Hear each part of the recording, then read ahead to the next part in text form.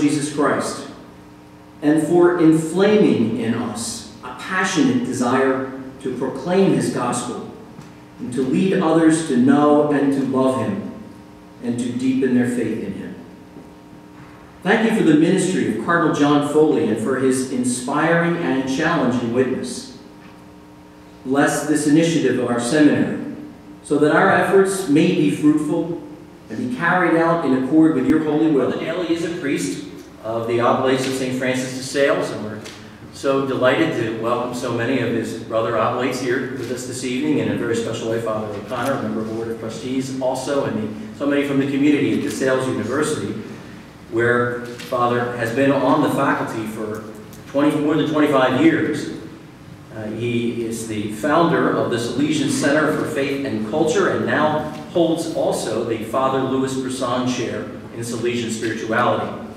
To Father O'Connor and the whole DeSales community, thank you for lending us Father Dailey this year. And, uh, he has mysteriously been unable to find his car keys, and uh, the, the, uh, the, the, doors that are locking, you know, he's not able to get out. But I suppose at some point he's going to have to come back.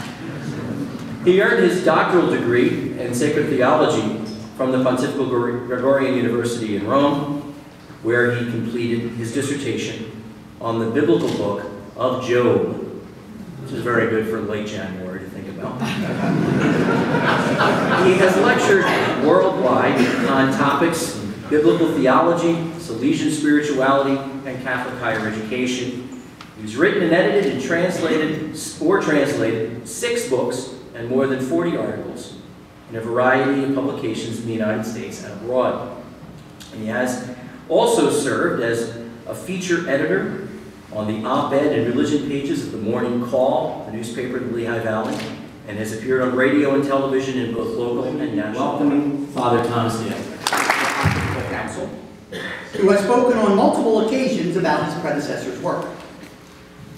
In his view, Cardinal Foley made it possible to see the face of a church capable of speaking to the world with cordialness and to dialogue with it in maximum openness without ever putting aside the truth or its reasons. Fellow alumnus of a Jesuit university, I will endeavor to develop this talk in three points.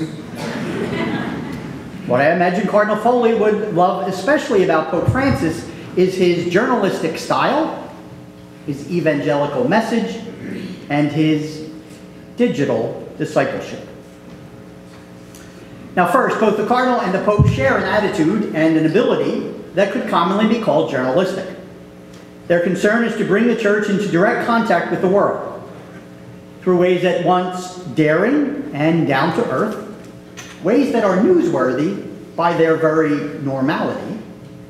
They engage others openly and in so doing exercise a strong influence on the reformation of our culture. God's word over those of men and women.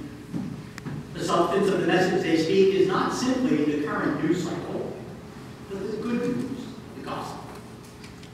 They are at heart both pastors and preachers,